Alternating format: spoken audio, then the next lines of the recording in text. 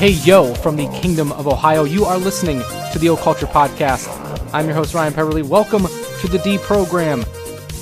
Thanks for stopping by the old uh, self grappling show. But no self grappling here this time, at least on the surface. You can judge that for yourself. Regardless, Sandor Katz is in the house to talk to us a bit about the art and alchemy of fermentation.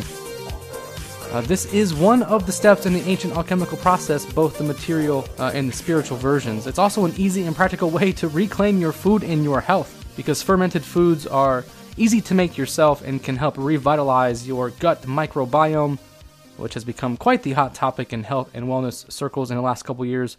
Surely we all know what probiotics, prebiotics, and postbiotics are by now. And we get into that as well, this war on bacteria that a lot of us are unknowing participants in. Hopefully, after this chat, we're a bit more comfortable with the culture growing inside us and on us. Sandor is a New York Times best-selling author for what that's worth. His books include Wild Fermentation and The Art of Fermentation, both of which we drew on for the chat here. There is a short Patreon extension, only 15 minutes or so due to Sandor's schedule. And if you're on Patreon, you don't have to look for anything extra. The audio is automatically included in the version you're listening to. So sit back, relax, grab a pickle or a bottle of kombucha, and let this consciousness enhancing audio ferment your fucking soul. That might have been a bit hyperbolic. Oh well, enjoy.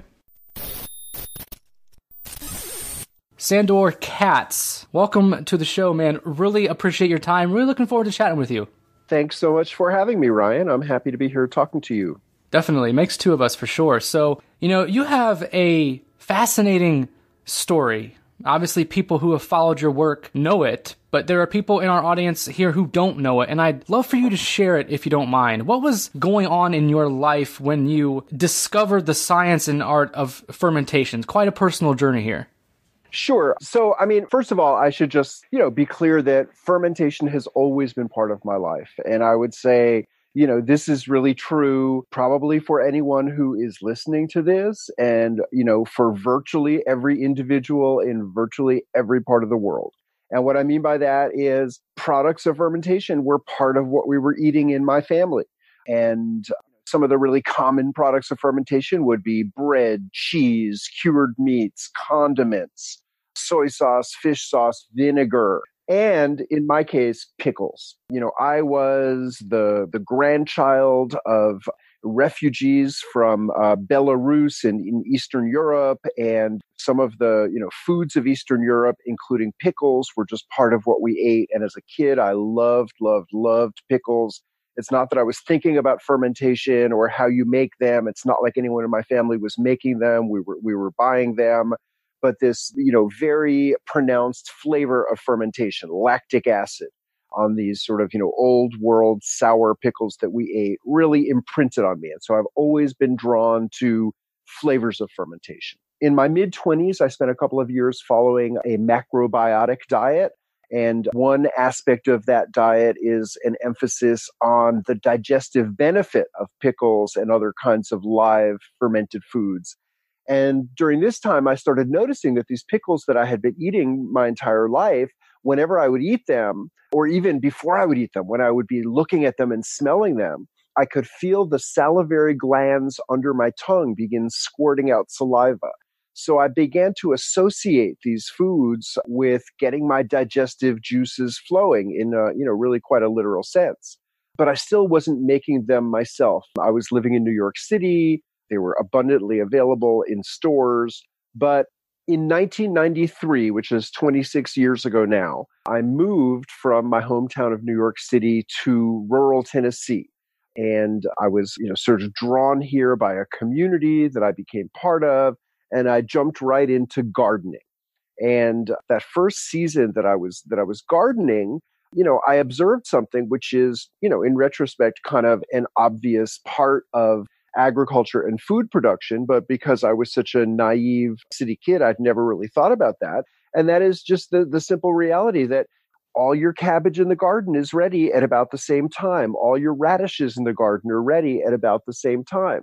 So when I was looking at this abundance of cabbage that, that first year gardening, I decided I should learn about sauerkraut and how to make sauerkraut. I knew that I liked sauerkraut. I knew that sauerkraut was associated with preservation of cabbage, but I didn't know how to do it. And so I looked in this basic cookbook, the, the Joy of Cooking, and I learned how to make sauerkraut from the Joy of Cooking. And I couldn't believe how simple and straightforward it was. I couldn't believe how delicious it was. I couldn't believe how, how good it was making me feel. That led me down this rabbit hole of fermentation. Now, the other thing that was going on in my life that's a big part of the story of how I came to move from New York City to rural Tennessee, what made me sort of so ready to walk away from the career that I was pursuing in New York. And that is basically that in 1991, I tested HIV positive. You know, so suddenly I had this sort of other factor to consider in my in my life decisions and at that time there were no effective treatments and you know i was very interested in um, alternative and holistic medicine and and food as medicine you know, learning about the digestive benefit of pickles, I started to realize that live culture fermented foods were also associated with improved immune function. You know, ways that science did not fully understand, but that, you know, eating bacteria rich foods, what we might call probiotic foods, you know, actually stimulate immune function. So I, you know, I just got really interested in these foods, you know, as a way of improving digestion, as a way of improving immune function, and also recognizing that they that they all tasted great, and that you know, fermented foods have these strong, pronounced flavors that, for the most part, I was really drawn to. You know, really, I spent the next 10 years just really like trying to learn about as many different kinds of fermented foods as I as I possibly could. And I I got a bit of a reputation because I was always showing up with different fermentation experiments. One of my friends started calling me Sandor Kraut. Some other friends invited me to teach a sauerkraut making workshop at an event that they were organizing. Turned out that teaching about fermentation was fun and that, you know, a lot of people were terrified of the idea of cultivating bacteria in a jar because we have been taught to be so fearful of bacteria. And so the question that kept coming up is how can I be sure that I have good bacteria growing in my jar of fermenting cabbage?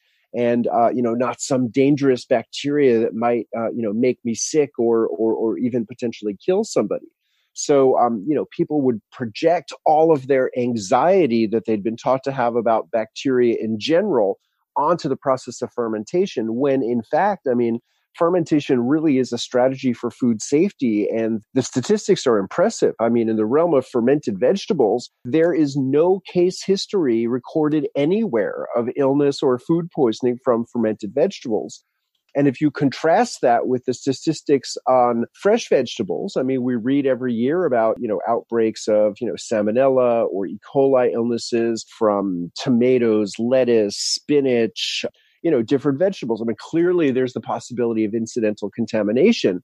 But the reality is that if you were to ferment those foods that had been contaminated, the indigenous population dominated by lactic acid bacteria would easily dominate over incidental contaminants. And as they acidify the environment, they would destroy whatever cells of E. coli or salmonella or uh, you know other organisms associated with food poisoning. And you know, that's one of the things that's so elegant and magical about fermentation as a strategy for preservation and food safety is that the byproducts of the fermentation are what make the food so safe and really protect it from, you know, random environmental bacteria. Yeah, man. And I knew we were going to get into bacteria quite a bit here. And I'm glad we're there already because I, I have a question about about a word that we use to describe bacteria in some way. And I just want to share something first, though. This is actually from the uh, the foreword to wild fermentation. Uh, I believe is your first book about the subject here. So this is from Sally Fallon Morell. She says that the science and art of fermentation is in fact the basis of human culture. Without culturing, there is no culture. Culture begins at the farm, not at the opera house. End quote. And that word culture is a fascinating term to me because you know, most people would think of human culture in terms of language or music or art or books or belief systems, and food too, I suppose. But culture is also a term that we use to describe bacteria, which is what fermentation is all about, as you were just talking about. What do you make of the ways we use this term culture, though? Well, I mean, I think I think it's totally fascinating, and you know, I would say that you know the the cultural realm, like the word culture, I mean, it's related to cultivation. It really derives from cultivation. And so, you know, the first thing we cultivate as human cultures is the soil. You know, we develop crops, we save seeds, and we sort of, you know, build societies and cultures around the practice of agriculture. And our sense of, you know, what we can cultivate has expanded over time. So it's not just cultivating the soil. We might be you know cultivating certain values in our children we might be cultivating skills you know we might be cultivating culinary techniques that might you know that are all of the things we love to eat and drink that are generally not the raw products of agriculture but that we create from the raw products of agriculture so certainly fermentation is an important part of the vast realm that we would consider to be culture but, you know, another way to think about culture is, you know, we know about genetics and uh, we each are the product of genetics coming from our father and from our mother. And we're sort of this unique combination of genetics. And, you know, it's the manifestation of our genetic code that determines many of the physical qualities that we embody. So genetics are information that's passed on biologically. I would say that everything that's outside of genetics that we pass down is encompassed by culture. So, language, the language that we speak to one another and that we teach to our children, that's an important part of culture. You know, our concepts about how we relate to the world around us and any kind of afterlife, you know, that's part of culture also how we sustain ourselves, how we dress ourselves, how we shelter ourselves, how we nourish ourselves. This is all part of, of culture. So, you know, the foods that we eat are an important part of this, and all of the techniques for how we cultivate the foods that we grow and how we prepare the products of agriculture and transform them into the foods and drinks that we enjoy. Like that is vital cultural information that, you know, until the last couple of generations was just typically passed down from generation to generation.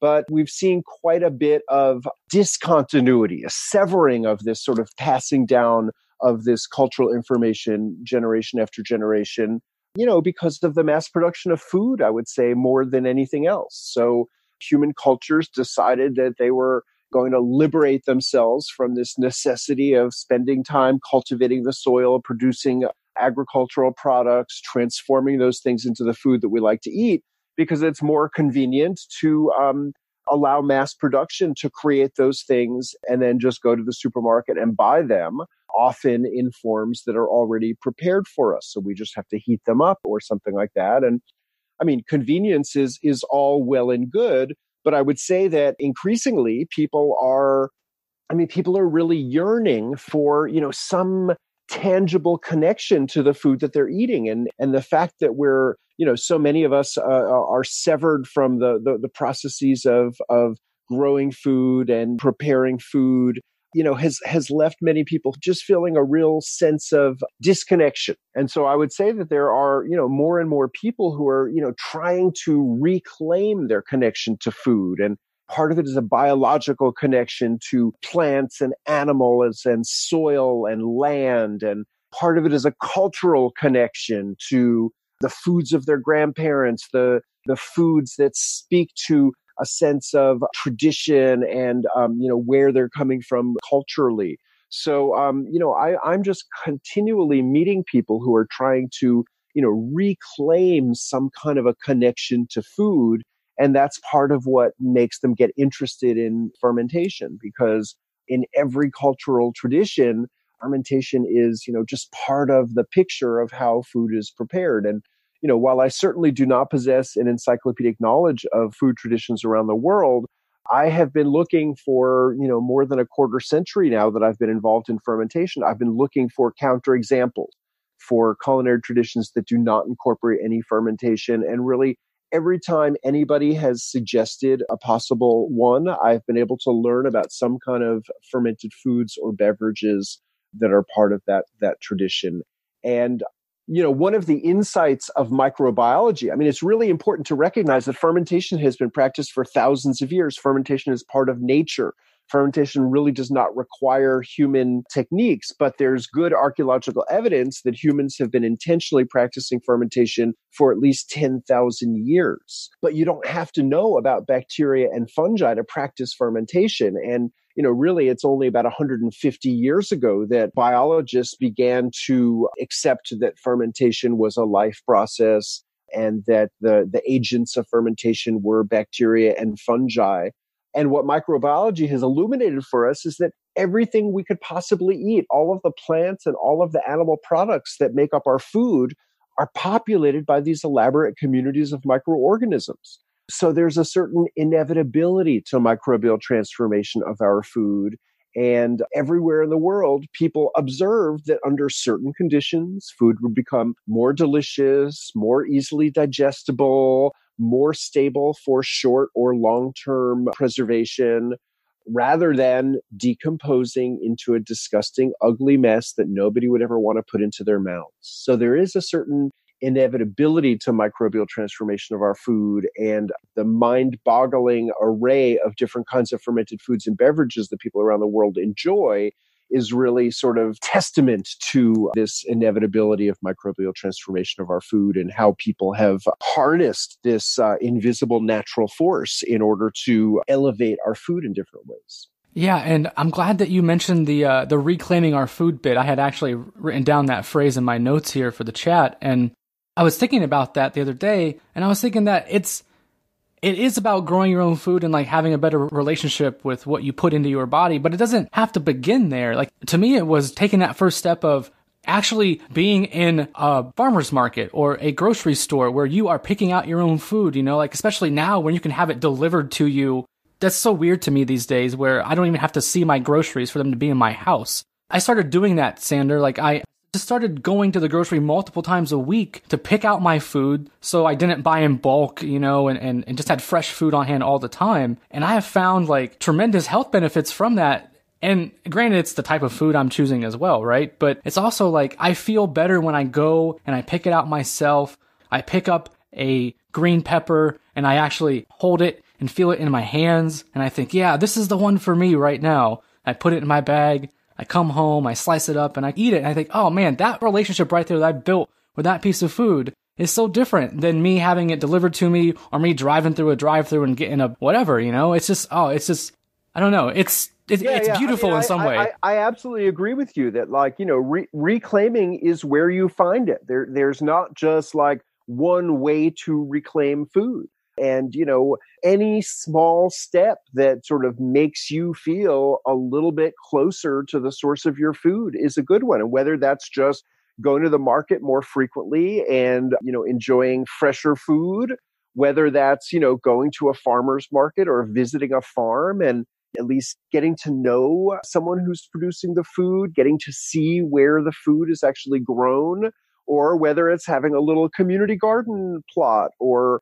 growing some herbs in your window or a tomato plant in a pot or something on your roof or in your yard or cultivating bacteria in a jar in your kitchen. I mean, you know, all of these are possible ways of just feeling more connected to your food. And, you know, I don't think that there's just one way to do this. And I think depending on, you know, your situation and where you are, you know it, it can manifest in all all kinds of of different ways but it's just like turning a little bit of your attention to it and and recognizing that you know food is an important part of our lives not only as sustenance for our organism but food is the embodiment of all these uh, you know biological relationships and cultural relationships. And you know the more the more we invest in it the more we can get from it and also you know the more we can share it with other people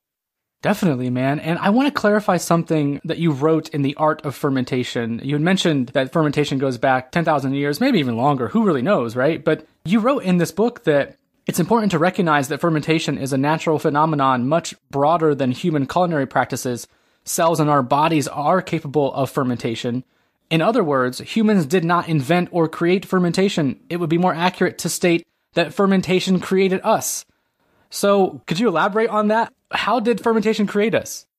So, you know, if you if you ask a biologist what is fermentation, they're going to have a slightly different answer. And rather than saying, you know, foods and beverages transformed by the action of microorganisms, you know, what they're going to say is fermentation is the production of energy without oxygen, anaerobic metabolism. So, yes, the cells of our bodies are capable of fermentation. Generally, we function in this uh, respiratory mode, which is aerobic. So, we have this elaborate system that carries oxygen to every cell in our bodies, and our cells can produce energy most efficiently using oxygen but sometimes we make demands of you know muscles or groups of muscles and demand that they produce energy beyond the amount of oxygen that they have to work with. And so they can revert to this alternative mode of energy production fermentation where they produce energy without oxygen. And what's less efficient about it in our bodies is it produces this byproduct lactic acid and generally we'll experience that as a as a sort of burning sensation in the muscles that we are exerting. But the, the larger point is that, you know, cellular fermentation precedes human evolution. And generally, these days, evolutionary biologists would agree that all life on Earth is descended from bacteria and other single cell organisms. And it's also generally understood that in the earliest evolutionary times, the atmosphere of the Earth did not contain oxygen, that it developed oxygen as a result of microbial processes that produced oxygen. And so basically, the earliest life forms were anaerobic, which means they were fermenting. So, you know, if all life and all multicellular organisms, including ourselves, are evolved from anaerobic bacteria to me what that says is that you know fermentation generated all of the life on on earth.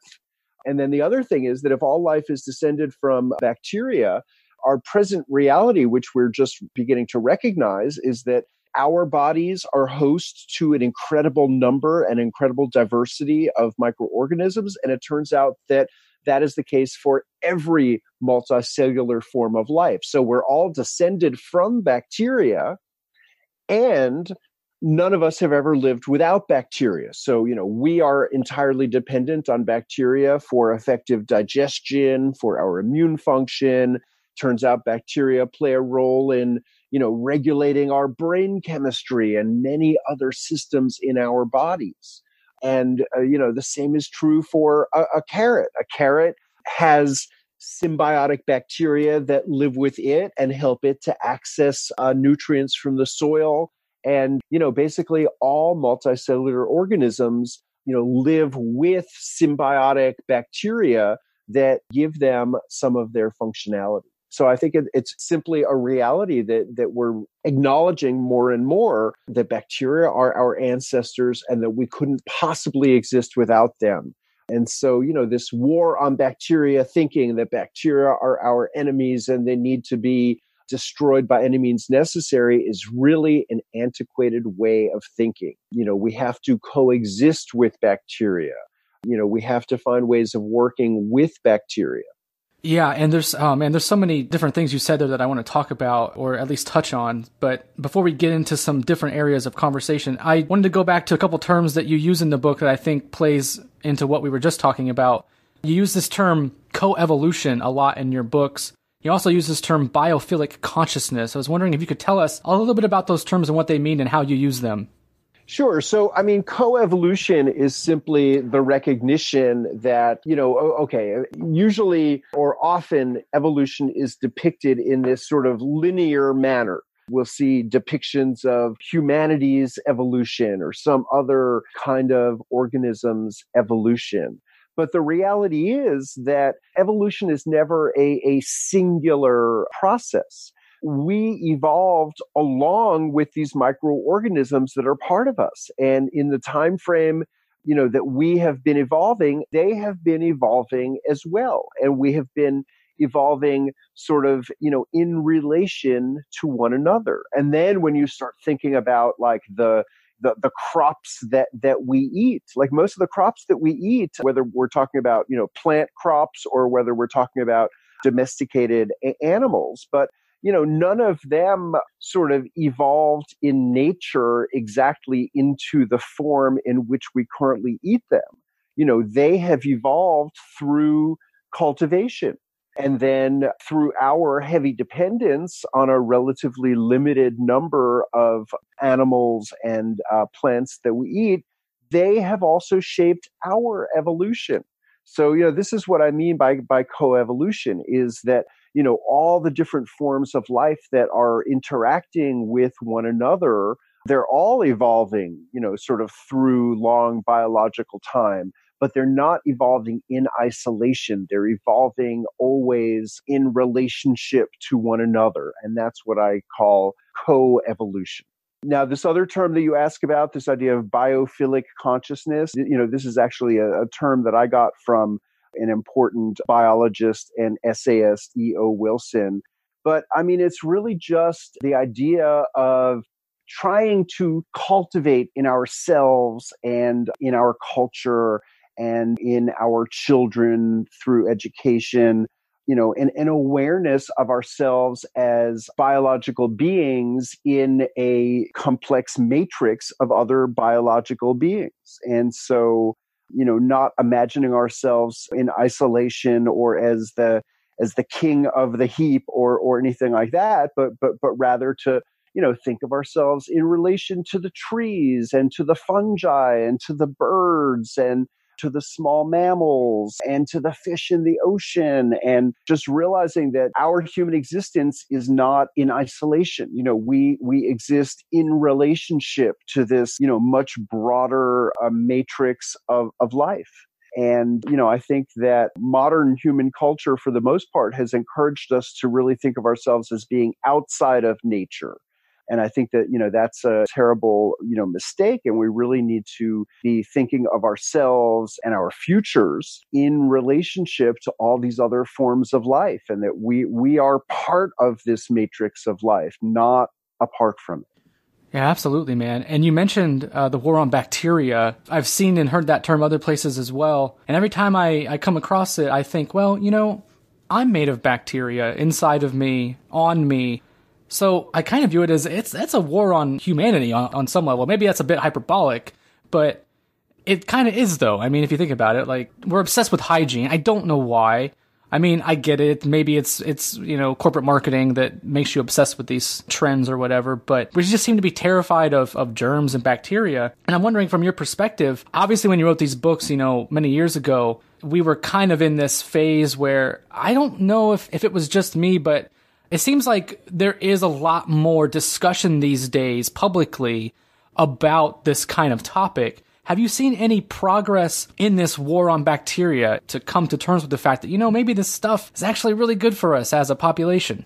Well, yeah, sure. I mean, I think, uh, I mean, certainly biology has become much more nuanced and sort of the, you know the 20th century party line that bacteria are mostly dangerous and need to be destroyed. I mean science certainly has a much more nuanced view now and recognizes that the vast majority of bacteria are either beneficial to us or we can coexist with them perfectly well with no problem. And in fact they are what protect us from the relatively limited range of bacteria that have the potential to uh, to make us sick. But let, let me just make one point about hygiene because you you brought the word hygiene into it, and I mean I think that hygiene is important. You know, I think that the the, the 19th century lesson that it's important in surgery to wash the instruments very well and wash the hands of the people who are going to have their hands inside of an open human body is really, really important. I think that you know the lesson that it's much more difficult to spread disease if people wash their hands with soap and water after they go to the toilet is perfectly good. I mean i don't i don't think that there's anything excessive with the idea of you know expecting people to wash their hands after they go to the toilet but really soap and water are adequate. I mean basically chemical corporations sort of latched themselves on to this idea of personal hygiene and started selling people all of these unnecessary and potentially dangerous products. I mean, washing your hands with soap and water is perfectly adequate. You don't need to add chemicals to the soap that kill bacteria. And in fact, when chemicals that kill bacteria are added to the soap, what it does is it exacerbates this problem that we would call bacteria evolving resistance to some of the chemicals that we have that destroy them. And this really gets into you know the this incredible resilience and adaptability that bacteria have because they're not genetically fixed. Bacteria have you know incredible means by which they can incorporate new genetic material release unnecessary genetic material exchange genetic material. And so they have just this incredible adaptability. And when we add these unnecessary chemicals it, it really just enables bacteria to adapt. And so what we're finding is that the antibacterial chemicals that are added to soaps are leading to the rapid evolution of resistant strains of bacteria so that you know these chemicals are no longer effective in the places where they are perhaps warranted. Let's use an example again like the operating room because of the fact that they're used in virtually every um, you know institutional bathroom in the country so I think that, you know, hygiene is important, but but adding chemicals to the soap is not only not helpful, it's counterproductive. Yeah, I switched to bar soap uh, a couple years ago. haven't looked back. Glad I did. And, you know, there's also some evidence too around this topic that people who are, you know, I guess what you would call maybe protected, especially kids who are protected in some way from bacteria, actually have higher rates of things like asthma and allergies. If you're being shielded from this stuff with all this antibacterial, you know, nonsense, I guess, you're actually weakening your immune system on some level. And, uh, yeah, yeah. I mean, the, the immune system learns by experience. It, it, it develops through experience exposure. So, um, you know, if let's say if we're just protecting kids and not letting them play in the soil and play with animals, you know, they're just getting a lot less bacterial exposure and and exactly what you said like the dramatic rise in you know allergies and asthma in young people is attributable to this lack of of bacterial exposure so so their immune systems can't fully develop and what these autoimmune diseases are about is the immune system basically attacking the body. And, and so one of the factors definitely seems to be, you know, lack of diverse exposure to bacteria. Yeah, and along with this, for the past few years, there's been this amplification of the discussion around gut health. Uh, you alluded to this in one of your answers earlier, and this connection between the gut and the brain. You know, I'm of the impression, Sandor, that the gut is the brain on some level, and maybe we've been thinking about this all wrong this whole time, and maybe we can talk about that too. But that general discussion is is not just relegated to, you know, dark little corners of the internet. It's gone mainstream on some level. And I'm curious what you make of that because you've been talking about this for a long, long time. I mean, I mean, certainly it's very exciting that there's, you know, this this recognition that that the gut bacteria are significant in all kinds of different ways. You know, I, I think, I mean, one of the reasons why we are sort of seeing so much new information and so much new discussion of this is that pretty much until the time of the new millennium, the major tool that microbiology had for studying bacteria was basically cultivating individual bacteria and then studying them, which is really a human contrivance. I mean, in the natural world, bacteria and fungi are everywhere, but we never find them singular. Like you never find just one kind of bacteria. In the natural world, bacteria exist in these elaborate, elaborate communities, lots of different kinds of organisms living together in any kind of different environment um, on planet Earth, you know, on, on a plum, on some wheat, on the skin or in the intestines of a pig. Every ecological niche, there are these elaborate communities of microorganisms and it's really, you know, only since, you know, genetic methods that have been developed in the new millennium that biologists have been able to begin to study these communities of organisms. But this, but, but the study is really just beginning.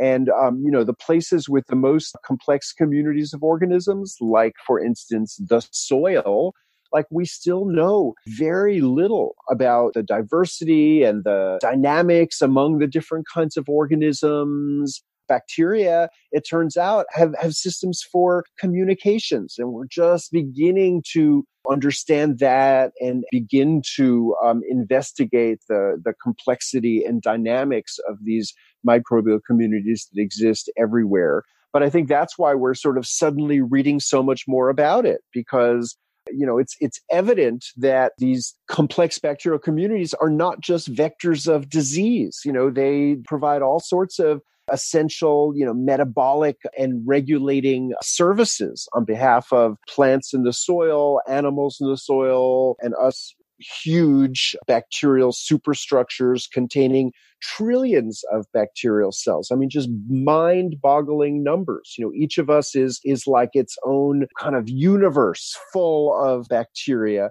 and we're just beginning to be able to study those. But I mean, it's it's quite evident that you know they're not just freeloaders or parasites. That they you know they give us a lot of our functionality and they're they're a huge part of protecting us from the relatively small range of bacteria that have the potential to make us sick.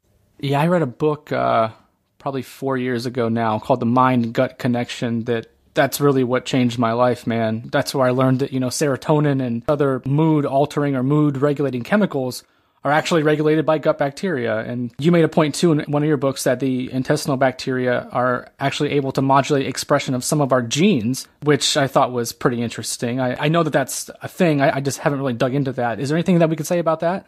Well, I mean, there is this sort of developing field in biology that's called epigenetics that looks at you know how different environmental factors impact upon the expression of genes so you know, each of us is born with a set of genes and, you know, we don't have the kind of flexibility that bacteria have. So for better, for worse, those are the genes that we have for the duration of our life. But a lot of factors, it turns out, can influence the expression of genes. So, you know, not every gene will be expressed in the same way. And so, you know, different kinds of environmental factors, including the presence of microorganisms or different communities of microorganisms can influence the expression of genes. So, you know, it is a very new field of study, but it's clear that, you know, bacterial communities are among the kinds of environmental factors that can have great implications for you know how our genes express themselves in terms of you know sort of specific chemical or um, you know physiological effects and i should say like we you know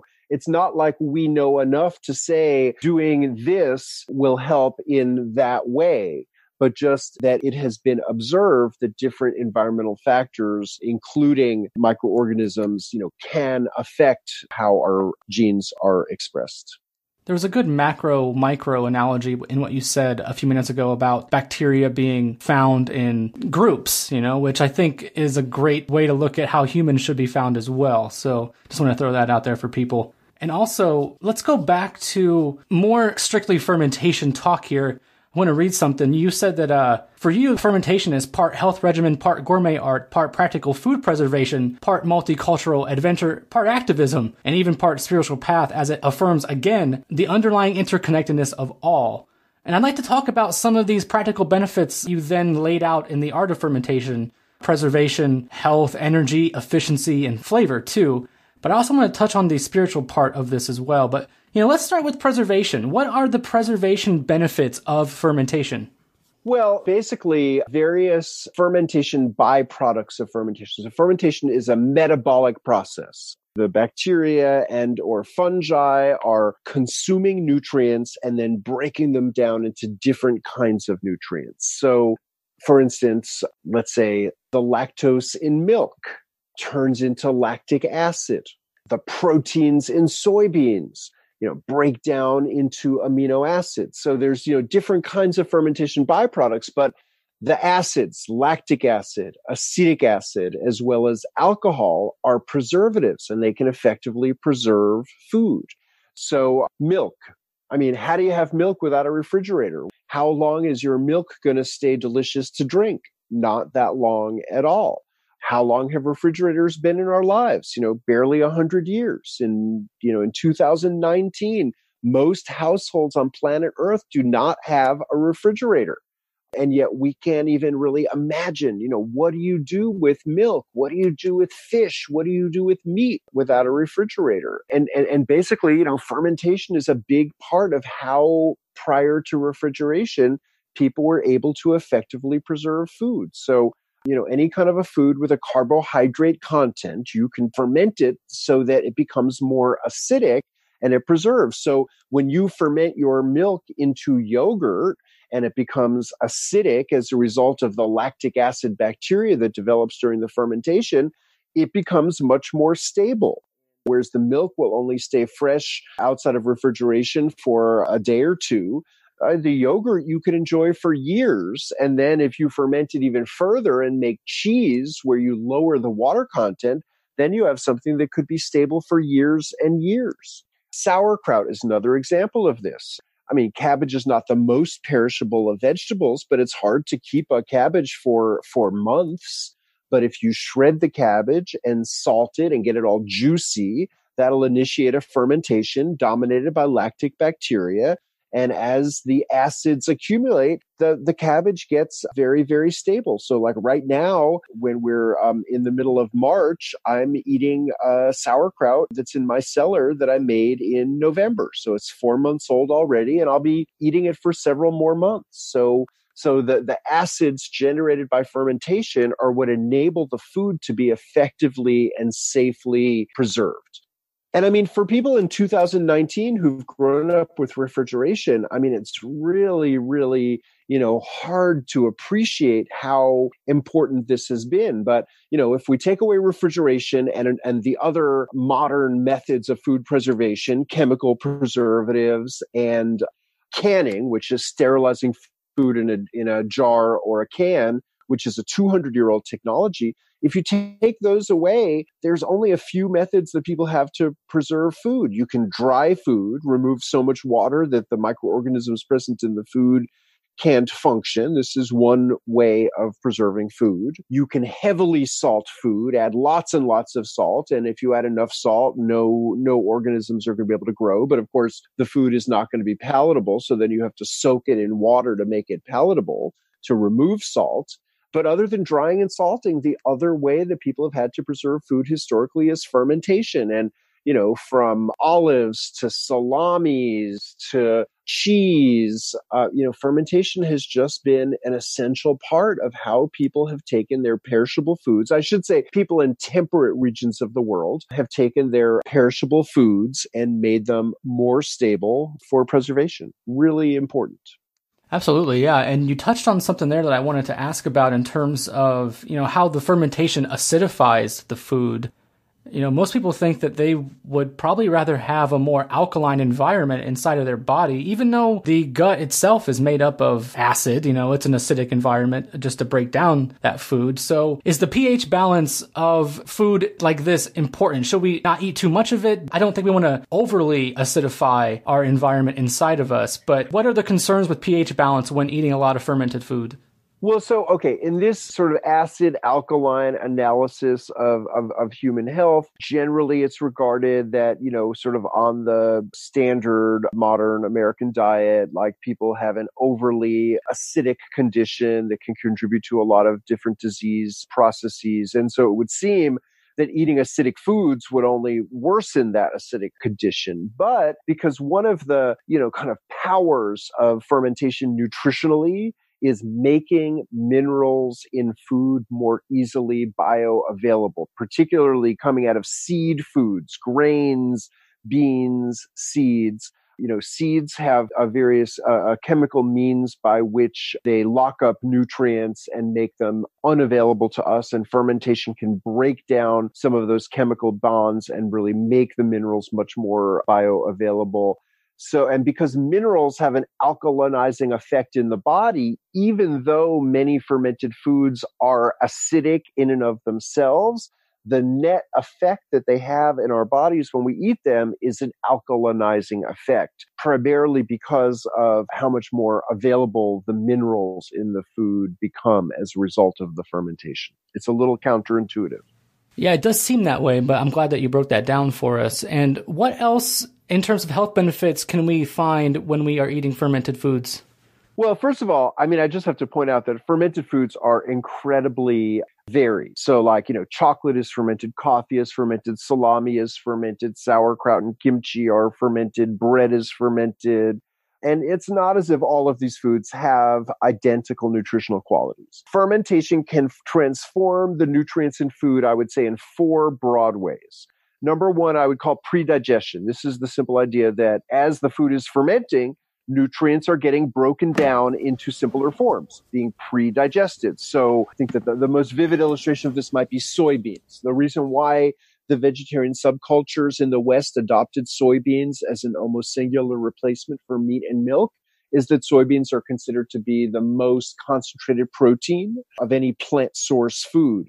The problem is our human digestive systems cannot access the protein in soybeans. And this is one of the reasons why you rarely hear of people soaking soybeans, cooking them until they're soft, and eating them for dinner, the way you might with chickpeas or lentils or pinto beans or lots of other kinds of beans. If you try to prepare soybeans like that, you'll get indigestion, you'll get a lot of gas, and you won't get the proteins out of uh, soybeans because our human digestive systems are not capable of that. And the Asian cultures that pioneered soy agriculture recognized this thousands of years ago and developed all of these different ways of fermenting the soybeans. And, you know, there's soy sauce, there's miso, there's tempeh, there's natto, there's many other variations. If you're familiar with those four, they're different processes, different flavors, different textures, different lengths of time, different organisms. But what they all have in common is that the protein gets broken down into amino acids, the building blocks of protein. This is pre digestion. Similarly, lactose, the milk sugar that so many people have a hard time digesting, gets broken down in fermentation. Gluten, the protein in wheat and some other grains that so many people have a hard time with, gets broken down not by yeast, but by bacteria. So if you're making like a quick bread in two or three hours using a packet of yeast, that's not going to break down the, the gluten. But if you do what's called sourdough using natural leavening by a community that will include yeast as well as lactic bacteria, the lactic bacteria in that community are going to break down some of the gluten. So there's much less gluten in a well fermented sourdough loaf than there is in a, you know, pure yeast conventional modern loaf of bread. So this is pre-digestion, the idea that nutrients get broken down often into simpler or more accessible forms. The other side of predigestion is what I would call detoxification. And this is instead of nutritious compounds getting broken down, it's potentially toxic compounds getting broken down. It's cyanide compounds that are found in cassava and certain other kinds of foods that break down under fermentation. It's um, oxalic acid that in certain plant foods can be very, very high and gets broken down under fermentation. So, so various kinds of toxic compounds can be broken down by fermentation then you can have nutrient enhancements. So, you know, almost every fermented food or beverage has elevated levels of B vitamins and K vitamins compared to the food you started with. And, you know, this basically has to do with an accumulation of living or dead microorganisms that enhance those nutrient values in the food. And then there are these kind of metabolic byproducts that, that are unique micronutrients that are just beginning to be investigated and, and studied. But so in fermented vegetables, there are these compounds called isothiocyanates that are regarded as anti carcinogenic in natto, this Japanese soybean ferment, there's a compound called nattokinase that's gotten a huge amount of attention. It's a blood thinner that can also break down what's called fibrin. Fibrin is fibers that can build up inside blood vessels as we age and constrict circulation. So, you know, for people with certain kinds of health problems, like that can be an extraordinary therapeutic benefit. But then finally, what I would consider to be the most profound benefit of fermentation would be the live bacteria themselves. And, you know, not every fermented food has living bacteria. If you want to eat the sourdough dough raw, that's teeming with live bacteria. But once it bakes in a hot oven, they're destroyed by heat. And so, you know, I, I, don't say that to say bread is bad, just to illustrate that certain foods lend themselves to this, you know, live culture consumption better than other foods. But like fermented vegetables, sauerkraut, kimchi, pickles. If they're not cooked or heat processed, they've got amazing, uh, uh, rich communities of probiotic bacteria. Yogurt, kefir, other kinds of fermented milk products also, and lots of other kinds of fermented foods and beverages have these you know living communities of organisms that can help to restore biodiversity in our gut so you know as a result of diminished dietary diversity as a result of widespread antibiotic use as a result of chlorination of our municipal water systems as a result of the widespread use of these antibacterial chemicals. You know, we basically all have diminished biodiversity as compared to, you know, people living in, you know, much less developed kinds of environments or as compared to our ancestors just a few generations ago.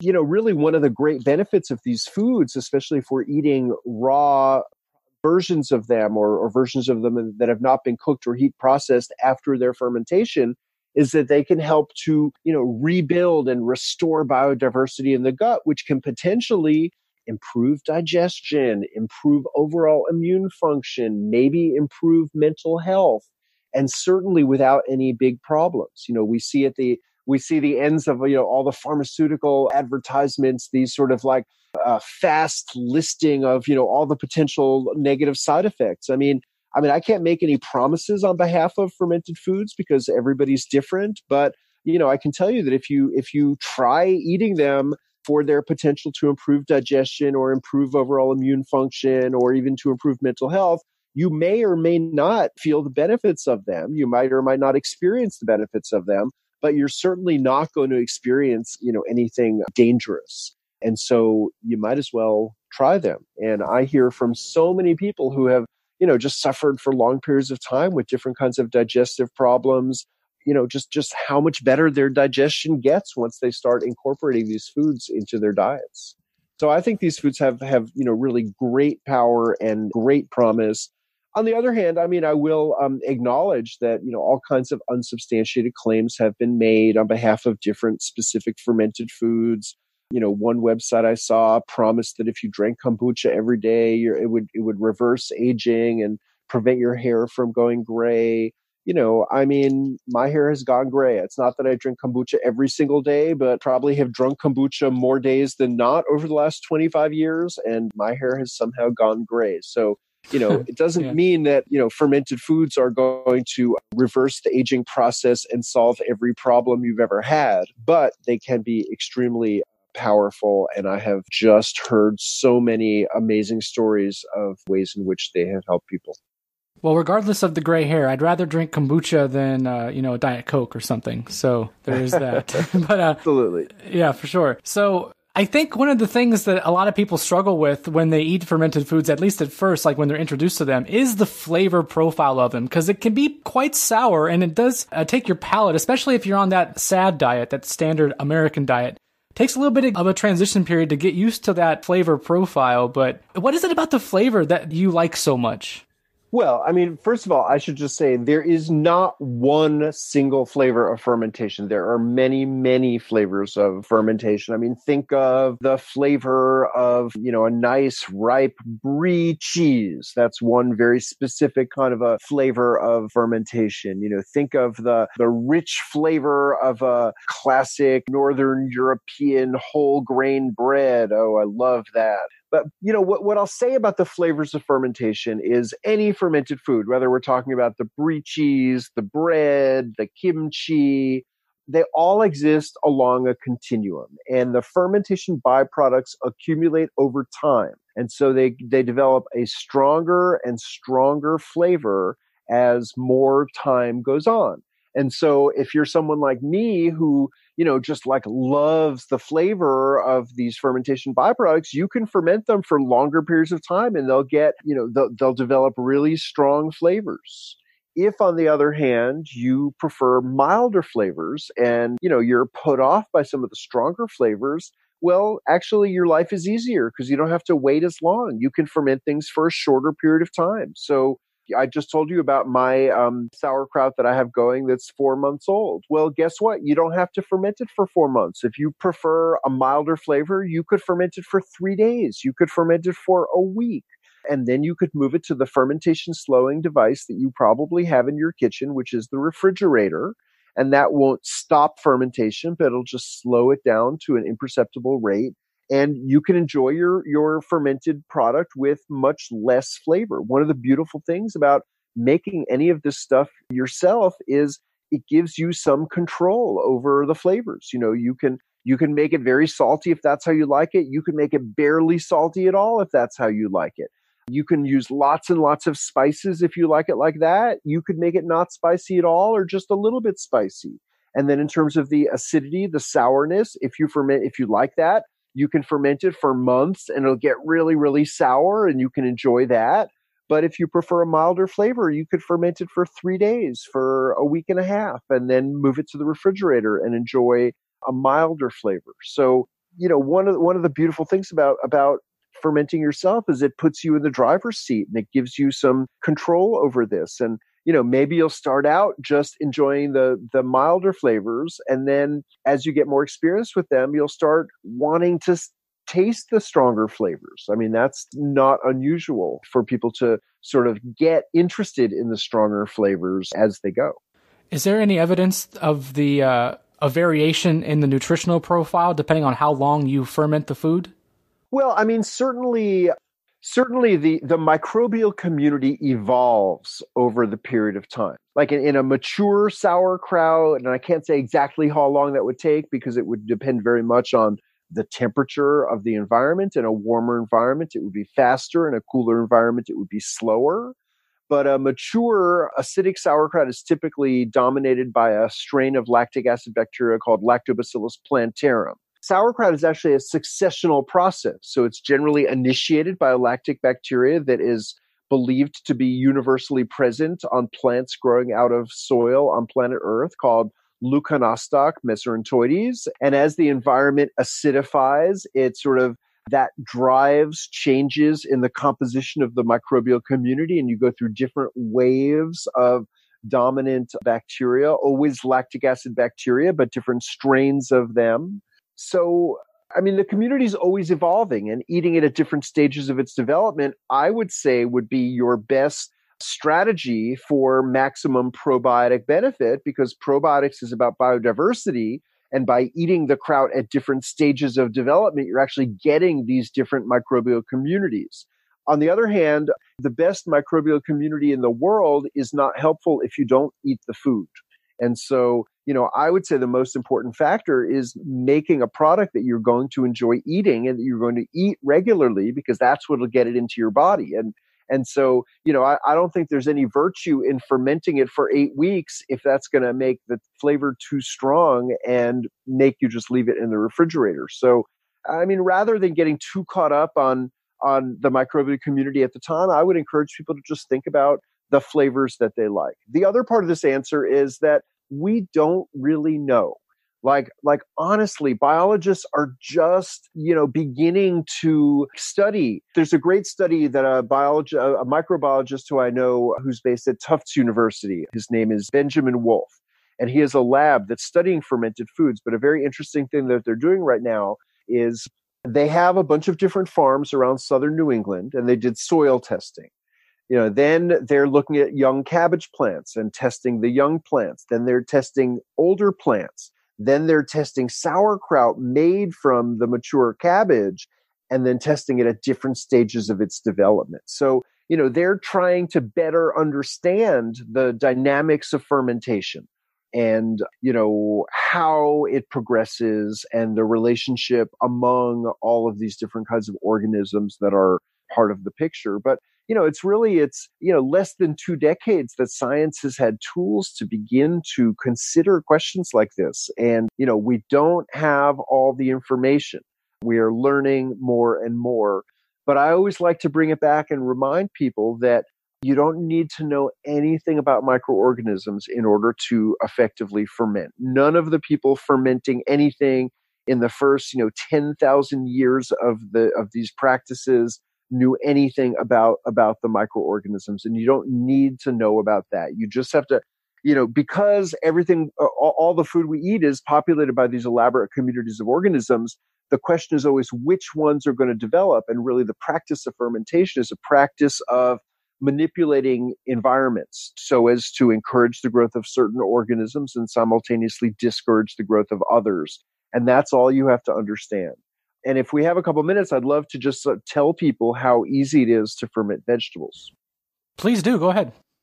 Okay, great. So, I mean, fermenting vegetables is like one of the easiest things ever. You need to chop, grate, shred the vegetables to create some surface area. This is not the only way to do it. This is the easiest way to do it. So chop up the vegetables to create surface area. That could be very finely. It could be coarse, whatever you like. Then salt, lightly salt, salt to taste. Like don't, don't overthink it. There's no magic number of salt. It has to be some of the literature will say something like 2% salt by weight, but you honestly don't have to like weigh everything and weigh the salt. You know, just lightly salt it, mix it up, taste it. It's always easier to add salt than it is to take salt away. So you chop the vegetables, you lightly salt them. Then what I like to do is get in there with my hands and squeeze them a little, massage them a little. On a larger scale, I've seen people, you know, take some big blunt instrument and smash down on them or tamp them. What you're doing in other cases the same. You're basically breaking down cell walls and helping the cells to release water our environmental uh, imperative here is to get the vegetables submerged under their own juices. So you got to get them juicy. Once the vegetables are looking and feeling nice and juicy, taste it, make sure there's enough salt, add whatever seasonings you might like to add to that. And then you want to pack them into a vessel so that the vegetables are submerged. The easiest vessel is a jar, just like a quart size, relatively wide mouth jar is the perfect vessel. A quart jar will take approximately two pounds of vegetables to fill it up. So you just chop your vegetables, lightly salt them and season them, squeeze them till they're nice and juicy, make sure the, the, the flavor balance is good, and then just stuff them into a jar and make sure they stay submerged. It's going to produce some carbon dioxide. So if you seal the jar, you're going to want, you want to leave it in a place that's visible. So you'll remember to off gas it every day, especially the first few days. It produces a lot of carbon dioxide and then after a few days just tasting it taste it and remember that the acids accumulate over time and at whatever point you you think it's getting strong enough you can move it into your fermentation slowing device of the kitchen but fermenting vegetables is that easy man yeah thanks for taking us through that so I have a ton more questions for you, but we're out of time here. So please do tell the people where they can find your work if they're interested in keeping up with you. Great. I have a couple of books uh, Wild Fermentation and The Art of Fermentation. And I have a website which is called wildfermentation.com. And um, there's links to all kinds of interesting fermentation related resources out there on the World Wide Web uh, that you can access through my website.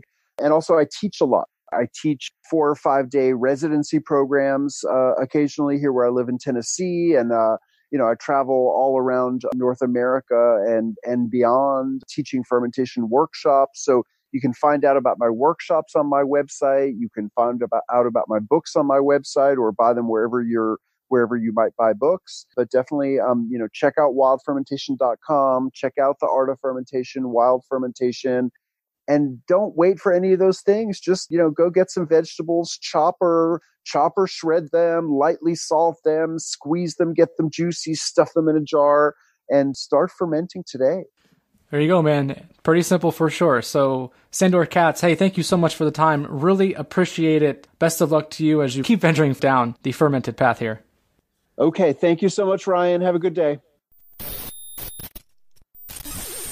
And there you have it. My thanks again to Sandor Katz. His books are invaluable resources on the subject of fermentation. They're bestsellers for a reason. Part history, part science, part personal anecdotes, and part practical advice on how to get started with fermentation and fermented foods. Anyways, in the Patreon extension, we talked about the potential energy efficiency benefits of fermentation, the spiritual aspect of it, the alchemy of it, and what we can learn about ourselves from observing the process, the effect of globalization on fermentation practices and fermented foods, and what you need to get started fermenting. Hint, it's not much. You know, I mentioned up front that the Patreon audio is automatically included in the Patreon version, and I wanted to reiterate that because some folks have stopped supporting because they're looking for extra recordings they can't find. So I'm sorry for not explaining that better, but those extensions I talk about, they're already part of the Patreon audio if you're listening through the Patreon RSS feed or the website. There's nothing additional posted. I just edit out the extension for the versions that go on iTunes, Spotify, wherever else. So hopefully that clears that up. Uh, and some shout outs to new patrons John, Federico, Trisha, David, and Alex, to returning patron Kale, and to new executive producer Megan. Thanks so much for hopping on board to support the show here. Much appreciated. And if you want to help me out and keep this thing on the air, patreon.com slash occulture is the place to do such a thing. Just posted a recording to Patreon of our latest book club discussion where we talked about Mark Z. Danielewski's House of Leaves, maybe my favorite novel. Actually, it is. Who am I kidding? And an interesting and a rather appropriate discussion we had about that text.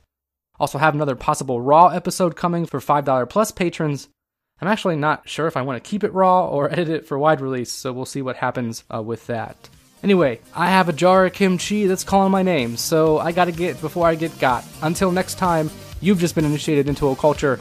I am Ryan Peverly reminding you to love yourself, think for yourself, and question authority.